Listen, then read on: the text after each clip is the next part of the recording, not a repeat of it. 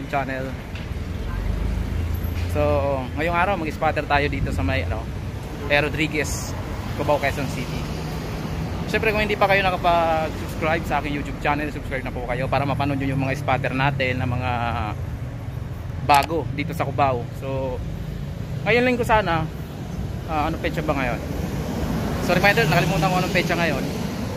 Dapat sana magpapasay ako. So ang nangyari tinamad ako sa Pasay kaya ngayon magkukubaw na lang ako so galing ako ng HM Terminal so kung napanood nyo sa Facebook yung in-upload ko ah uh, naglabas tayo ng samaan ng loob dun sa HM kasi inabutan tayo so ngayon pa lang itutuloy yung spotter natin dito sa A. Rodriguez so ayun tara simulan na natin yung spotter natin dito sa A. Rodriguez mga idol let's go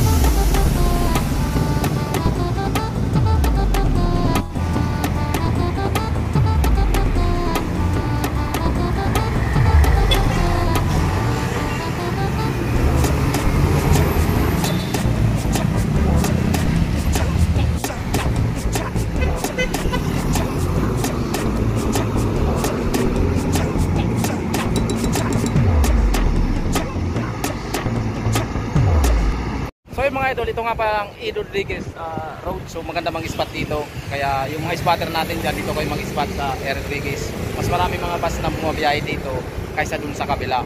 So ayun, sa mga spotter natin dyan ng mga kaibigan. Mag-spot kayo dito sa E. Rodriguez. So lagi ako nandito mga idol.